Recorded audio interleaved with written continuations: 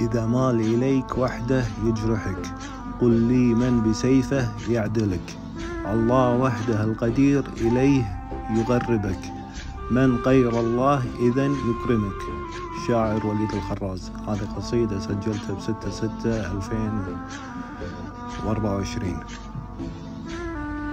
وشكرا. أنال تنال إعجابكم بعد انقطاع